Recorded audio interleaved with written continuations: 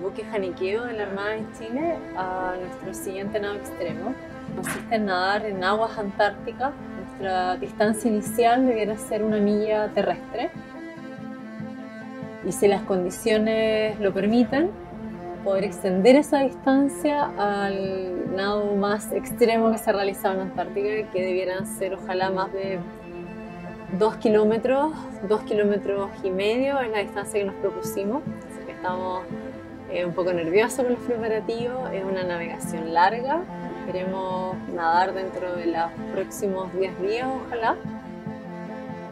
Este tipo de deporte no nadamos con ningún tipo de grasa o aislante del frío, tampoco con trajes de neopreno, es un traje de competencia normal, eh, gorra, lente, eh, dentro de los, del, desafío en sí, las dificultades que vamos a enfrentar, por supuesto las bajas temperaturas.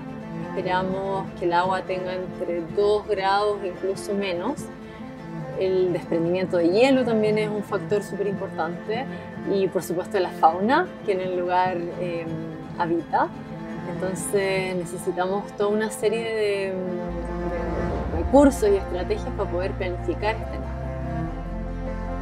que esperamos no se extienda de los 40 minutos por lo difícil y lo peligroso de la hipotermia.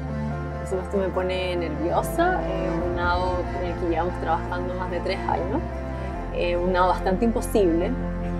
Eh, yo creo que eso es lo que nos motiva también como equipo, como de cierta forma correr esa barrera de lo imposible.